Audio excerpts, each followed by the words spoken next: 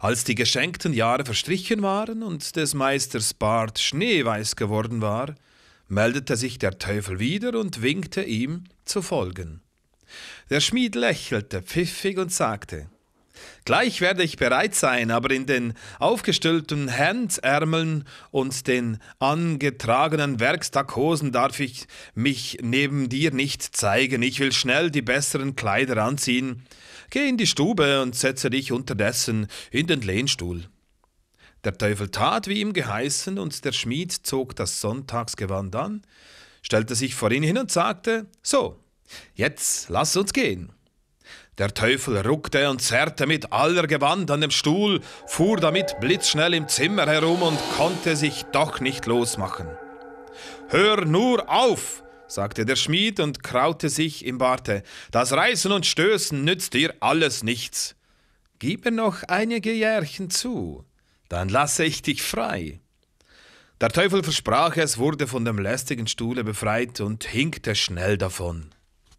Als die Zeit um war, erschien der böse Feind zum dritten Mal und schrie von weitem Jetzt rüste dich, jede Ausrede ist umsonst, du wirst mir dieses Mal nicht entwischen.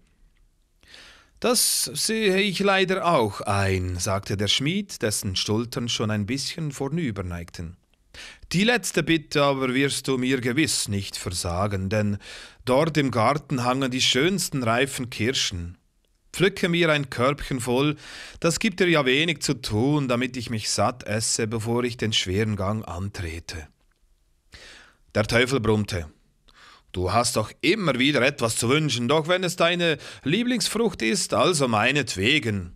Und er kletterte hurtig auf den Baum und sammelte flink wie ein Affe die Früchte ins Körbchen. Als es voll war, begann er kläglich zu winseln, denn er konnte nicht mehr herunter.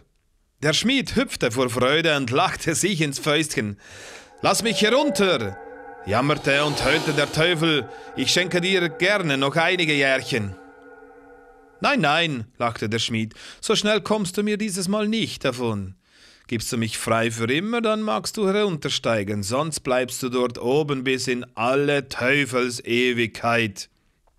Der Böse versprach es, sprang in einem Satz vom Baum, rollte den Schwanz auf und verschwand.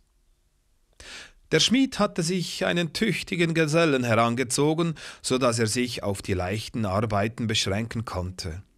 Als hochbetagter Greis starb er. Der Tod führte ihn vor das Höllentor und klopfte an. Da rief eine Stimme heraus: Wer ist da?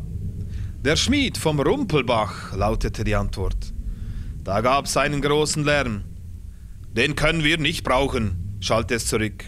Der schlägt uns krumm und lahm. Geht vor eine andere Tür.